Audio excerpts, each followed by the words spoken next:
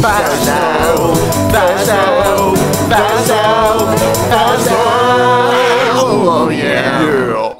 Hello folks, my name is Endrit and today we're going to do this in Godot. Today we're going to randomize a number. Like always on my scene I have a node2d and a rich text just to show you visually what is happening. So I'm going to create a new script for the node2d. I deleted everything except the function. First of all I'm going to create a variable a equals 0. Then I'm going to create my own function, randomize my variable. Before we go further I'm going to tell you the two methods we can randomize a value. The first one is randi and this is going to randomize integer numbers and the second method is randf and this is going to randomize float numbers. So now let's randomize our variable a equal random e percent sign and here we're going to put the maximum value we can get from this random. In this case, I'm going to add 10. It is going to extract from 0 to 9. If we want from 1 to 10, we need to add 1 to this value. Now I'm going to call our function inside our delta by pressing enter. So input